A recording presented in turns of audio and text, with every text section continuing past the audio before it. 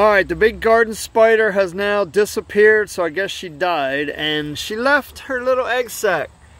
Because according to Google, after they make their egg sacs, they will die soon after.